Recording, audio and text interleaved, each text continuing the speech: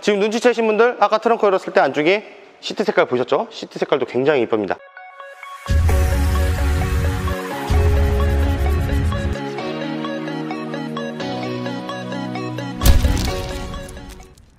필승! 네, 안녕하십니까. 필승모터스 구독자 여러분, 조준민 대리입니다. 자, 더뉴 소렌토 차량 갖고 왔습니다. 근데 지금 영상 속에서 정말 귀한 색상으로 보이죠? 이 차량 실제로 지금 딱 제가 옆에 있잖아요. 색깔이 미쳤습니다. 정말 이쁩니다. 이게 약간 dark blue?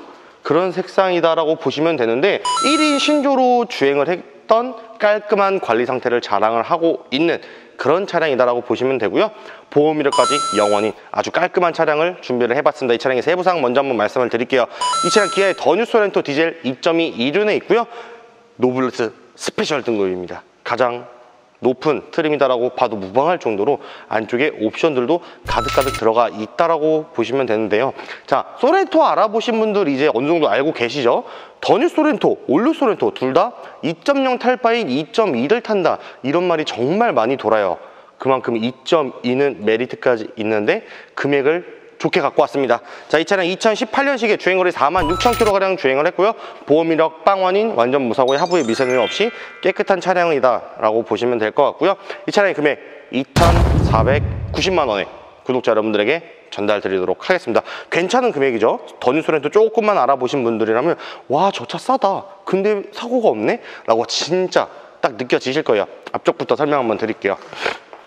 이 더뉴 소렌토 들어오면서부터 헤드라이트가 HID가 아닌 full LED 헤드라이트 세 발로 변경이 됐습니다. 아래쪽에는 네 발의 4구 안개등 들어가 있고요. 전면 프레임 깨끗합니다. 전방 감지기 들어가 있고 그릴이 촘촘촘촘촘하게 변경돼서 조금 더 멋지고 세련된 디자인이다 라고 보시면 될 것 같네요. 앞유리, 본네트 깨진 부분 그런 거 없다라고 보시면 되고요. 앞 타이어 같은 경우는 괜찮습니다. 60%휠 컨디션 크롬휠 들어가 있어서 확실히 삐까 번쩍한데 지금 외판 상태에서 눈치채신 분들 반사 썬팅지 필름까지 들어가 있어요.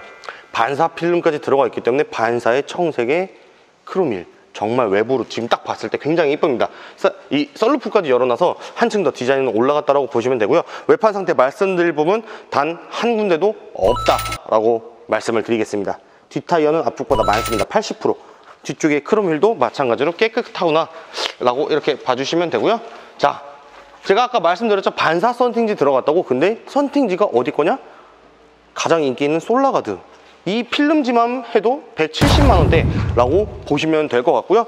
후면부에 깨끗한 상태 유지하고 있습니다. 그리고 더뉴 소렌토부터 이렇게 면발광이 들어간 rear 램프라고 보시면 될 것 같고요.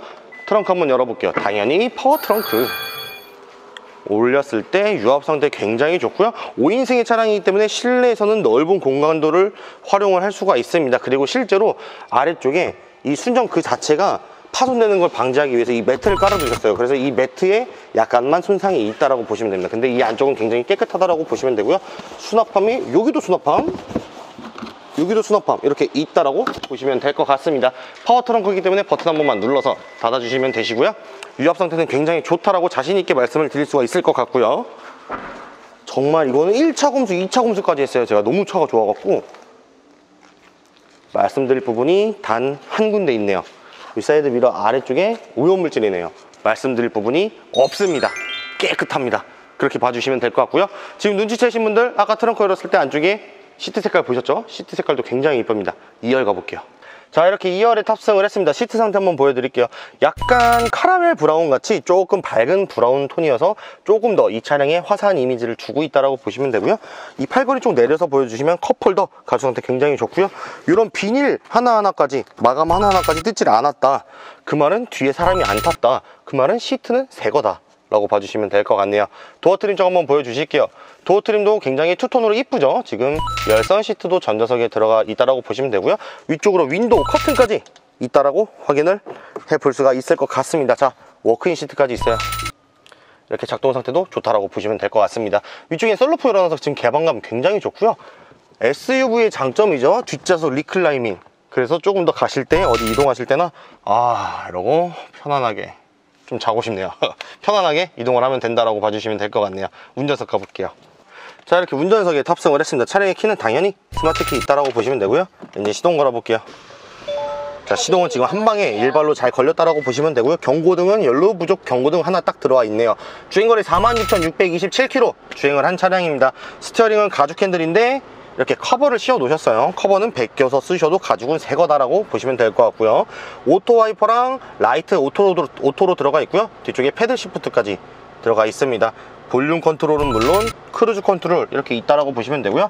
자 이제 트렁크 버튼 이렇게 있다라고 확인을 해 볼 수가 있겠죠. 이렇게 메모리 시트까지 들어가 있습니다. 문 살짝 열어서 보여드릴게요 메모리 시트 있고 auto window는 운전석과 조수석 있고 전동접이 미러 있고 door trim 쪽 발길질 전혀 없습니다. 굉장히 깨끗한 상태다 라고 말씀을 드릴 수가 있을 것 같죠? 지금 선루프는 열어놓은 상태에서 좀 촬영을 진행하도록 하겠습니다. 아래쪽에는 하이패스 룸미러 들어가 있고요. 전후방 2채널 블랙박스 있습니다. 대시보드 쪽 부착물 단 한 개도 보여지지 않다라고 보시면 되고요. center fascia 쪽에는 순정 내비게이션이 들어가 있다라고 보시면 되는데 메뉴 버튼 눌렀을 때는 phone projection, 안드로이드 오토, 애플 카플레이 이렇게 된다라고 보시면 될 것 같고요. 여기서 라디오까지도 한번 바로 확인을 해볼게요